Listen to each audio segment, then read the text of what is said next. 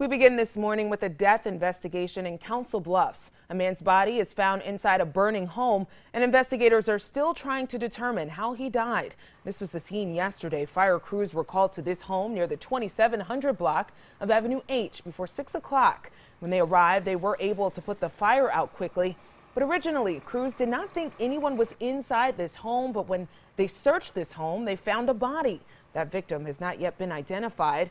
The Pottawattamie County Medical Examiner's Office will now determine the cause of death. Both fire and police are looking into this case.